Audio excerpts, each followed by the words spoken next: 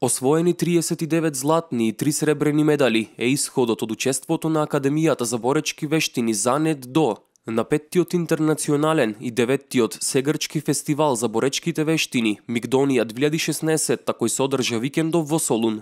Македонскиот тим беше составен од 24 надпреварувачи, кои се надпреваруваа во 42 дисциплини во борби и демонстрации на самоодбрана и демонстрации со традиционално оружје. Она кој што го работевме веќе 3-4 месеци макотрпно. Ние никогаш не престануваме, меѓутоа овие 3-4 месеци имавме посебен акцент ставено на подготовките за овој надпревар.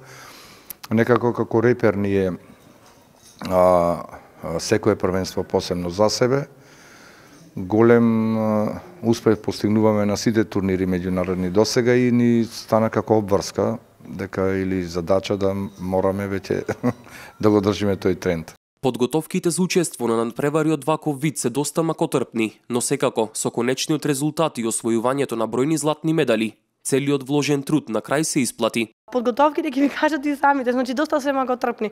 Ние работиме секој ден по два по два пати, значи и саба или навечер.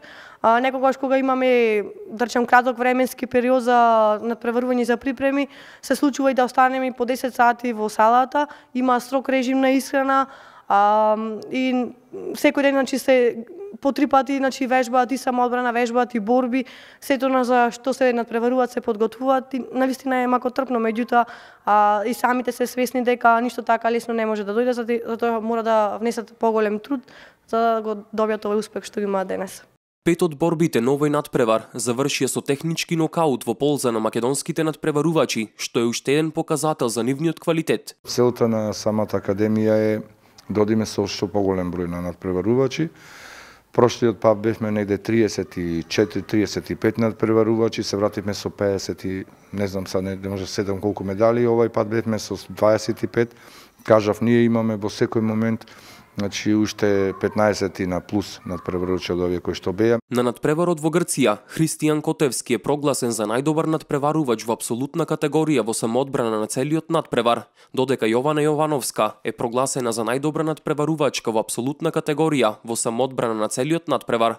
Дамјан Неделковски е прогласен за прв во својата категорија до 8 години во демонстрации во форми со традиционално оружје.